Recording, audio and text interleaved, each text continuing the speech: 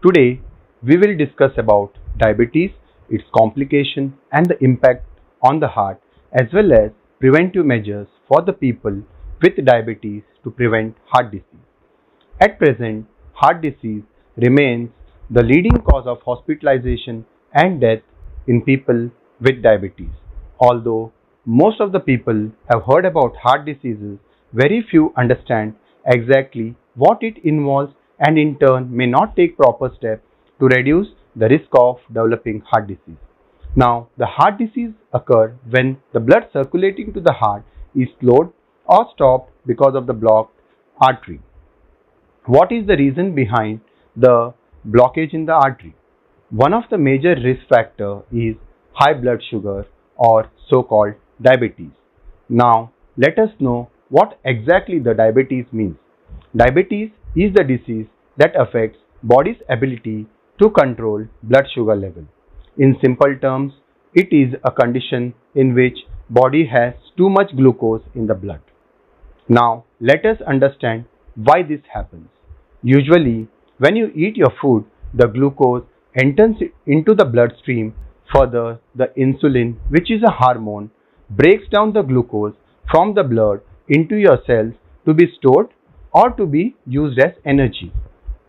With diabetes, your body either does not have enough insulin or can't effectively use the insulin to break the glucose. This leads to the high blood sugar level in the blood. Did you know diabetes can increase your chance of dying from heart disease? Yes, it's true. With diabetes, you are more prone for, to get a heart attack. So, when it comes to diabetes, prevention is very important as it can affect whole of your body.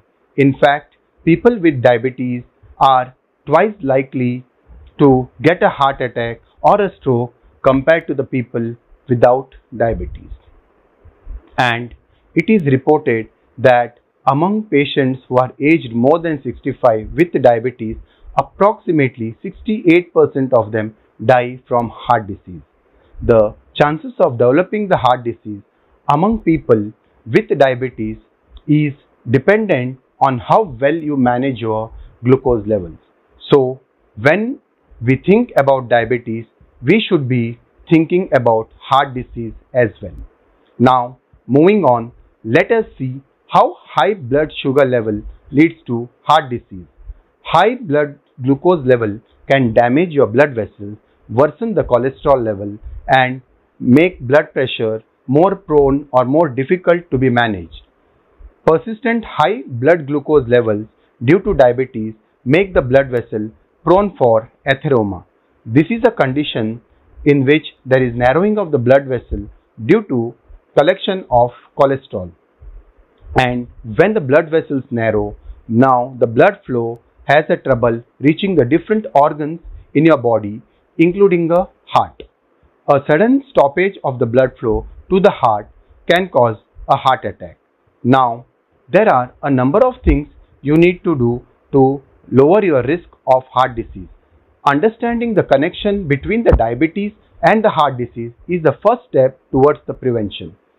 Diabetes, which is often referred to as a lifestyle disease, managing diabetes requires the patient to make significant lifestyle changes lifelong. These changes require lifelong commitment from the patient. One can control the blood sugar levels to help the risk of heart diseases to be lowered by changing the lifestyle such as eating heart healthy food, engaging in physical activity, regular blood sugar monitoring, quitting smoking and relieving the stress. Now let us see each of these preventive strategies in detail. First thing is know your ABC of diabetes. A stands for A1C test. The A1C is a blood test that measures your average blood sugar level over the past 3 months. Now, it is different from the blood sugar levels you check every day. You need to know your blood sugar levels over time. So, the A1C level for most of the patients with diabetes is usually below 7. The B stands for blood pressure. Blood pressure is the force of your blood against the wall of your blood vessels. If your blood pressure gets too high, it makes your heart work harder. So, the blood pressure goal for most of the patients with diabetes is usually below 140 by 80 mm of mercury. The C is for cholesterol. For there are two types of cholesterol as we all know, LDL and HDL.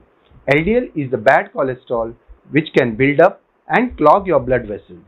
It can cause heart attack or a stroke.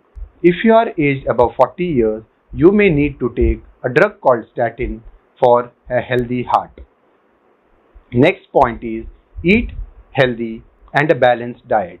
There is no one size fits all approach to eating healthy, but it is important to have a regular meal pattern and make healthy food choices. Your fat and the carbohydrate intake are crucial in managing both diabetes as well as heart disease. For this, you should make simple switches from saturated fat to unsaturated fat. Having too much of saturated fat can increase your bad cholesterol in the blood. So, it is important to reduce the amount of saturated fat you eat and instead switch to unsaturated fat source.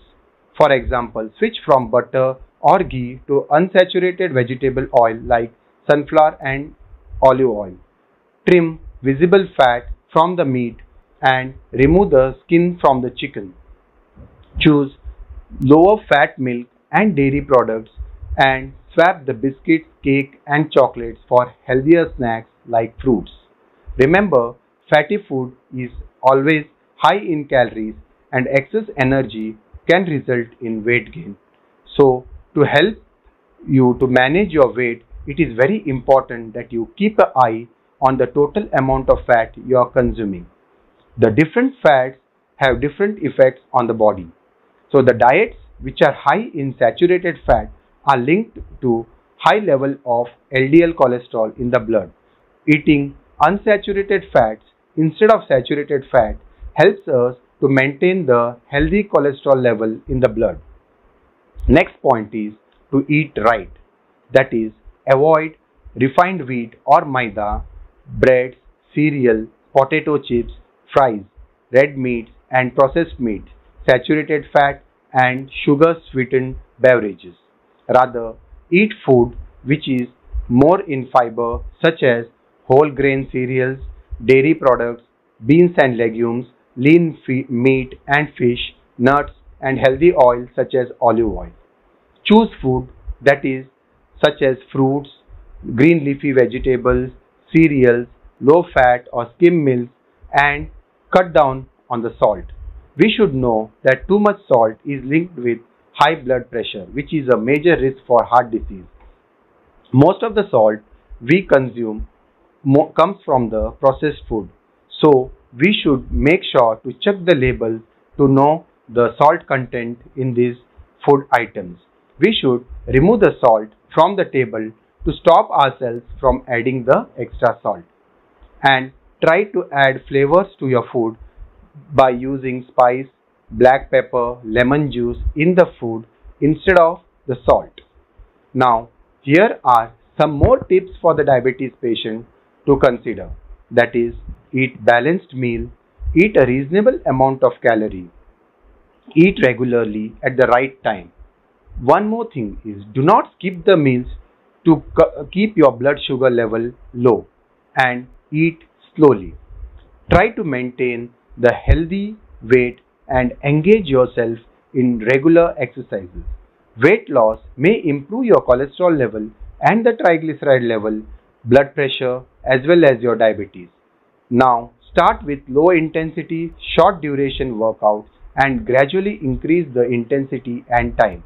Now, gradually increasing the intensity and the duration of exercise is very important. Be careful if you have already complications of diabetes. Aerobic exercises such as walking, swimming and cycling is recommended for patients at least 3 days a week. Now coming to medical treatment of diabetes. Take your medications exactly as prescribed by your doctor. Eat meals and take medications regularly at the right time. Always remember that the risk of hypoglycemia if you delay your meal time and eat less than usual. The medication must be supported by healthy eating and regular physical activity. The next point is quit smoking and moderation of alcohol use, which is very important. Unfortunately, many people who have diabetes smoke and smoking increases the risk of developing the complications associated with type 2 diabetes and it also increases the risk of developing hypoglycemia. Smoking cessation is a very important part of diabetes care. The next important thing is to cope up with stress the best you can. Stress is also known to increase the blood sugars. So instead we should try meditating, deep breathing and other relaxation techniques to beat the stress in the healthy way. Quality sleep is another key for the good heart health. So we should make sure we get about 7 to 9 hours of healthy sleep in the night. One last advice is not to fall prey to the unscientific and the false methods to control diabetes which are suggested by some unauthorized sources and the advertisers usually on the social media and the television. The bottom line is diabetes can lead to serious medical complications including the heart diseases but you can manage this condition with medication as well as lifestyle changes. Avoid the most common diabetes complication with these preventive tips. With this, I wish you manage your diabetes well to have a healthy heart. Do consult your physician regularly. Thank you.